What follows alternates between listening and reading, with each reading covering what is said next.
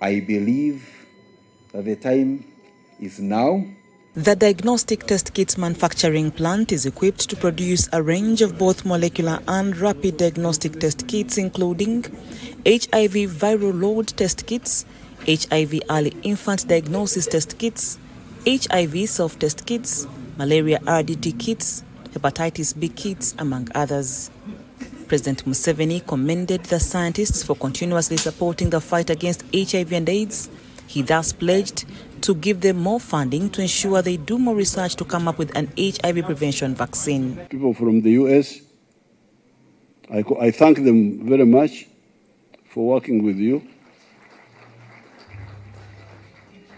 And the people from China, I thank them so much.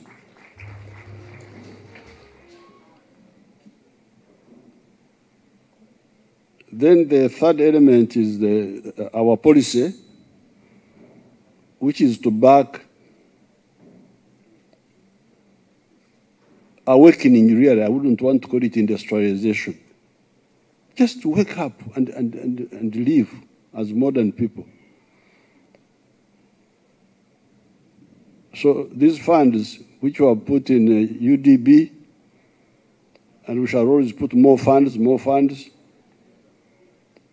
are really to support that transformation from a superstition controlled society to a science led society.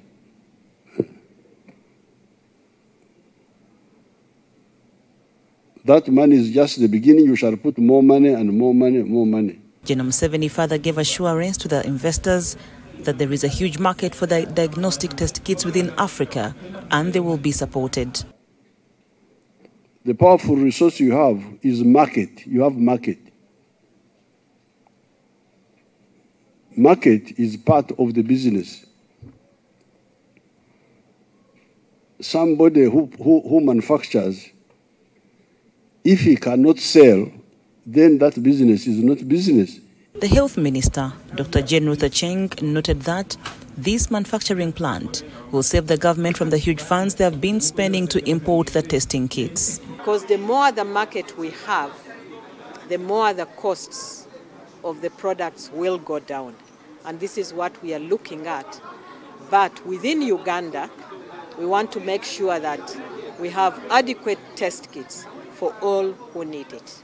The Microhaem Scientific's founder and managing director, Dr. Cedric Akwesiga, said the plant, which is the first of its kind in the Great Lakes region, will start making and distributing the kits immediately.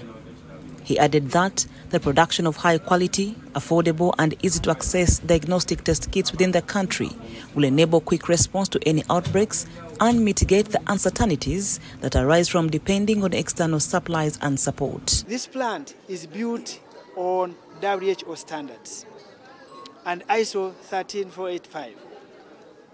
These, those standards and CGMP. Now, those standards are worldly um, known standards for anyone manufacturing a pharmaceutical or any, anything in medical. That is what we are following. From construction, from design, from, um, from design, construction, e equipment, from training of, of human resource.